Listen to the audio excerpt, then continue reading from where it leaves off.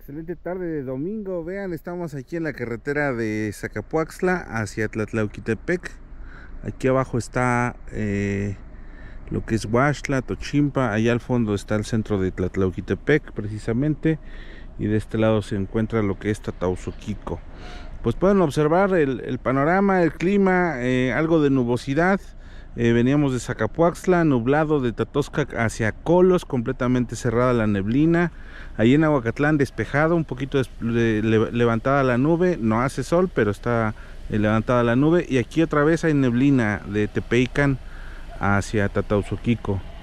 Y pues pueden observar esta excelente panorámica de hoy domingo, domingo 27 de de octubre del año 2024 un saludo para todos ustedes.